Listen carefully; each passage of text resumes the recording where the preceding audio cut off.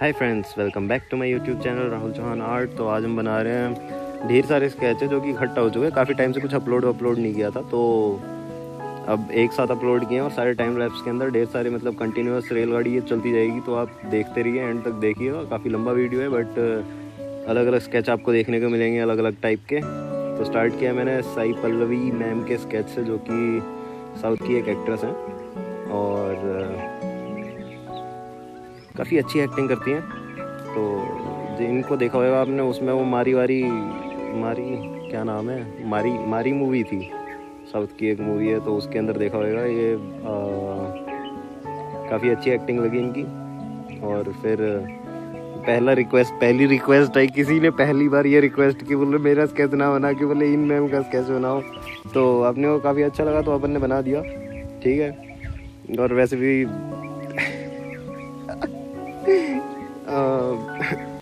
एक सौ सत्रह सब्सक्राइबर हो गए मतलब आगे चल के जितने होंगे, उतने होंगे बट अब तो एक सौ सत्रह जिनमें से व्यूज़ आते हैं बीस पच्चीस।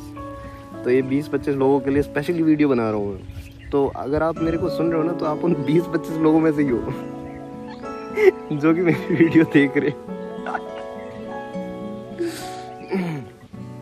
और अब 20-25 लोग ऐसे ही सपोर्ट करते रहिए मेरे को। मैं बनाता रहेगा। खैर व्यूज़ दो भी आते तो भी मैं बनाता क्योंकि ये अपना इंटरेस्ट है। पर, ये कैलोग्राफी पेन मैंने लिया था, इसका इस्तेमाल कर रहे हैं, अपन सीख रहे हैं। सही है, काफ़ी अच्छा लगता है कैलोग्राफी कैलोग्राफी सारी चीज़ें एक साथ करो तो एक हमने कलर्ड स्केच इसके अंदर पेंसिल कलर्स यूज़ कर लिए, एक नॉर्मल और अब आपको दिखाते हैं किससे देख के बनाया मतलब रेफरेंस फ़ोटो दो फ़ोटोज़ जो हैं मैम की वो दिखाते हैं आपको। होपफुली आपको अच्छा लगेगा। अच्छा लगे तो छोड़ो यार। और और बताओ क्या चल रहा? पच्चीस तीस लोग ही हम्म, हाल चाल ही बता दिया करो। कमेंट में बोले भाई मैं ठीक हूँ। कैसी चल रही है ज़िंदगी? ये एक और मतलब होपफुली इनको भी आपने देखा ही होगा। तो ये डिजिटल आर्ट है हमारी। इसके अंदर शेडिंग्स शेडिंग्स मतलब ये ज़्यादा इजी पड़ती है। लेकिन खैर मज़े दोनों में ही हैं। हार्ड में बनाओ या सॉफ्ट में। डिजिटल आर्ट में भी उतने ही मज़े आते हैं, क्योंकि एक बार जब प्रोसेस कंप्लीट हो जाता है, और अगर हवा, पत्ती, चिड़ियों की आवाज़ आ रही है आपको तो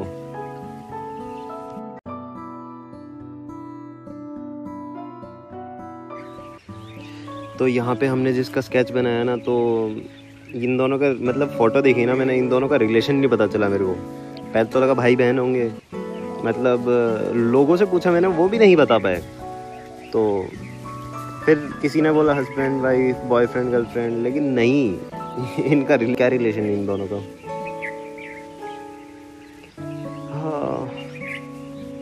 मैंने सुनी ये खबर मतलब चेक किया बकायदा और ये सही बात है। ये इसकी मम्मी है। और उसके बाद मेरी ज़मीन दुनिया मतलब भरोसा उठ गया जब पता चला कि ये छोटा वाला लड़का है। ठीक है?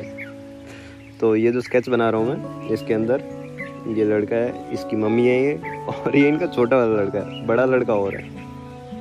ये मैंने स्केच में थोड़ी सी डिजिटल आर्ट की मदद से ये प्रोसेस काफ़ी अच्छा लगता है मेरे को। इसके अंदर आप इजी स्केच बनाओ, उसके अंदर थोड़ी सी डिजिटल आर्ट ऐड करो और वो स्केच एक अलग ही लेवल पे पहुँच जाता। और अगर आपको ये प्रोसेस प्रोसेस क्या सीखना है? सीखना वीखना छोड़ो मतलब एंजॉय करो एंजॉय द प्रोसेस और बताओ, ये डिजिटल आर्ट में स्क्रीन रिकॉर्डिंग कर रखी थी मैंने मतलब कभी कभार ऐसे ही आईपैड का फ़ायदा ये होता है, कहीं भी ले जाओ इसको आप, ठीक है? स्केच स्केच कहीं भी करने हो निकालो अपना आईपैड पेंसिल अटैच रहेगी उसी कवर में। और आप कहीं पे भी स्टार्ट हो सकते हो। तो अगर आप आर्ट लवर हो डिजिटल आर्ट सीखनी है आपको तो ये सबसे अच्छा तरीका है। डिजिटल आर्ट तो सीखनी ही है यार, वो मतलब एक तरीके से आजकल ट्रेंड में चल रही है। लोग डिजिटल आर्ट को ज़्यादा प्रेफर कर रहे हैं। डिजिटल आर्ट मतलब आप आजकल है ही यार, आप कोई स्केच बना रहे हो, उसको मतलब दीवार पे लगा सकते हो, कुछ कर सकते हो फ़ोटो लगा सकते हो, खैर, लेकिन अगर डिजिटल आर्ट है तो उसको आप अपने फ़ोन के वॉलपेपर पे लगा सकते हो, लोगों, आजकल हर एक सोशल मीडिया पे आईडी पे तो वहाँ पे लगाओ अपना फ़ोटो और ये वाली चीज़ मैंने रील्स पे मतलब एक ट्राई किया था कि रैंडमली रील चलती रहेगी, जो रील अच्छी लगी उसका स्क्रीनशॉट लो वो किसी भी मतलब चलती चलती में तो ये स्क्रीनशॉट आया मेरे पास और अंतर्यामी सा स्क्रीनशॉट आया। इसका मतलब मैंने आर्ट बनाई और फिर इसके दो तीन स्क्रीनशॉट और लिए मैंने। उनकी भी आर्ट बनाई। तो ये आप देखिएगा कैसे स्क्रीनशॉट आए हैं। तो ये भी चीज़ काफ़ी फन है। आर्ट मतलब वो चीज़ है एंजॉय करो इस चीज़ को आप। प्रेशर में नहीं करने का। ये स्क्रीनशॉट दूसरा आया था।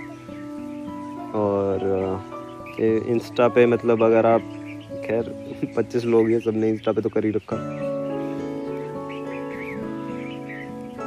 ये तीसरा स्क्रीनशॉट इसके मैंने तीन स्केच बनाए। नाम तो पता नहीं अब, लेकिन एडी पता नहीं क्या करके मतलब अजीब सा नाम लिख देते हैं लोग इंस्टा पे, हवाबाजी के चक्कर में। लोगों से पढ़ा भी नहीं जाता क्या है मतलब नाम क्या है? नहीं पता। हवाबाज कहीं पे तो ये मैंने एक और ऐसी रैंडम स्क्रीनशॉट लेके और उसके बाद बनाया था। ये प्रोसेस काफ़ी अच्छा लगा मेरे को, दो तीन बार करने के लिए। ये प्रैक्टिस ड्राइंग के लिए काफ़ी सही है। अगर आपको प्रैक्टिस करना है तो प्रैक्टिस ऐसा रहता है कि आप कुछ भी स्केच करो, ठीक है? उसकी प्रैक्टिस हो जाएगी आपको। और ये काफ़ी अच्छा प्रोसेस है।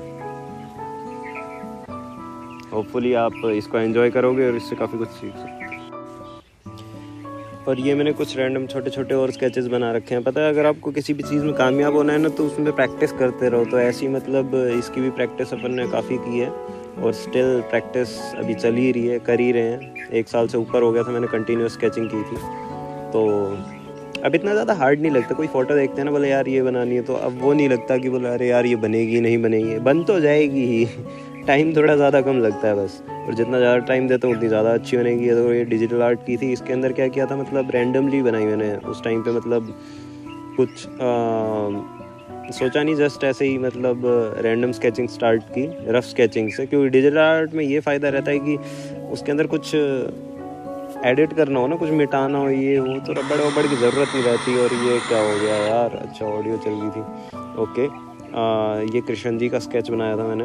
जो कि अपनी छोटी सी डायरी है उसको पोर्टेबल डायरी मतलब कहीं पे कहीं पे भी ले जाओ। अगर आ, एक छोटी सी पेंसिल ले रखी एक छोटी सी डायरी उसको कहीं पे भी ले जाओ स्टार्ट करो ड्राइंग तो एक ये स्केच था। इसके अंदर भी मैंने डिजिटल आर्ट एडिट की। ये देखिए राधा कृष्ण की।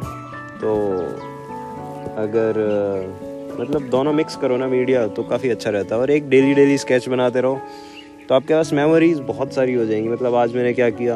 आज ये स्केच बनाया आज ये किया मैंने। तो ज़िंदगी में कुछ लगेगा कि बोले हाँ कुछ कर रहे हैं, कुछ हो रहा है। वरना लॉकडाउन में तो पागल ही हो जाएँगे सारे। खैर लॉकडाउन की बात तो छोड़ो, वो गया, अभी गया नहीं है पूरी तरीके से। एक्चुअली मतलब वैक्सीन लगने के बाद भी लोगों को वायरस वो कोरोना वायरस से इफेक्टेड है लोग। स्टिल मतलब तो इस वजह से पूरी तरह से गया नहीं है। पता नहीं, पानी वानी के टीके तो नहीं दे दिए उन्होंने लगता तो मतलब ऐसे ही टीके, वो वैक्सीन तो खैर दे दिया है। हो सकता है। लोगों को भरोसा देने के लिए देते ना वो। दे दियो। तो ये इसे कैलोग्राफी सेम थिंग और बचपन की फ़ोटो थी। तो आ, ये ढेर सारे स्केचेस इकट्ठा हो गए। तो मैंने सबको टाइम लगा में छोटा छोटा करके छोटा छोटा करके देख लो आप। मतलब जैसे कौन सा अच्छा लगा ये बताना। क्या बताओ? पच्चीस छब्बीस लोग हैं। एक तो ये लोगों को समझ नहीं आता मेरे को। एक बात बताओ, कुछ चीज़ अपलोड किया मैंने, ठीक है? अब, वो चीज़ तुम देखो, उसको लाइक करो कमेंट करो मतलब उसके अंदर बताओ, चलो अच्छा लगता है। मैं वीडियो मतलब अपलोड करता हूँ, लोग वीडियो देखते हैं और भाई मेरे कॉल करके बोल रहे हैं, मेरे बोले, भाई, क्या बढ़िया वीडियो ना यार, क्या मस्त। मतलब वीडियो चेक की एक भी लाइक नहीं था उस पर इस बंदे ने वीडियो देखी, इसको अच्छी लगी, इसने कॉल कर दिया मेरे पास। बोला, भाई, अच्छी हो रहा है जहर का थी क्या तरीका है कहाँ से आ रहे हैं? और वो लोग कौन से ऐसे घटिया घटिया स्केचेस देखता हूँ मैं उसके अंदर मिलियन मिलियन लाइक आ रखे होते हैं और फिर मतलब अंदर से दुख होता है, मैं चल क्या रहा है ये? पैसे वैसे दे के कर रहे हो क्या तुम? और ये हिप हॉप इसका भी असली नाम नहीं पता, लेकिन इंस्टाग्राम पे हिप हॉप बस्ती से तो इसका स्केच बनाया मैंने। और ये भी पहले रफ स्केचिंग की मतलब देखो टू बी पेंसिल लो, कोई भी नॉर्मल पेंसिल जिस पेंसिल से लिखते हो ना, उस पेंसिल को इस्तेमाल करो, उसी से स्केच बनाओ, फिर उसको घिस दो बिल्कुल मतलब उंगली रगड़ के रफ बना दो उसको, दिखे वो हल्का हल्का सा बिल्कुल, ठीक है? उसके बाद एक डार्क पेंसिल लो, ये मैंने ले रखी है कौन सी? एट बी, और उसके बाद ये ही पॉप थी और इसका स्केच बनाया, और ये मैंने इसका स्केच खैर ये शिवरात्रि के दिन मेरे को आइडिया आया, मैंने सारे स्केच जितने भी थे अपने, उन सबको भोले की भक्ति में मगन कर दिया सबको नीला नीला कलर दे दिया।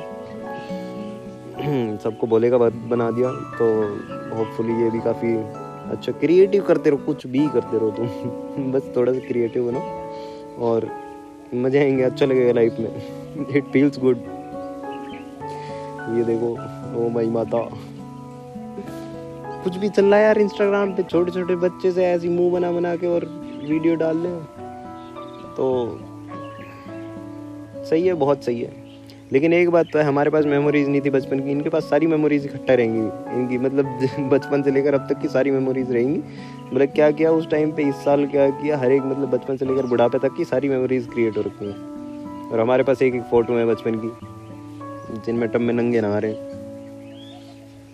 और नौरा फतेह अली खान, क्या नाम है, नूरा नाम है। तो आजकल काफ़ी लोग क्रश बनी हुई है। इसको हमने भोले का क्रश बना दिया।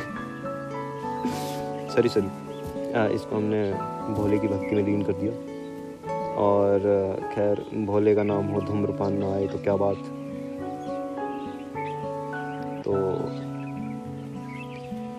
इस केस को तो कई बार देख चुके हो आप। पहले, खैर, सारी जानकारी हैं तो क्या ही बताना, सबको पता ही है। थोड़ी सी एडिटिंग काफ़ी मस्त बना देती है स्केच को।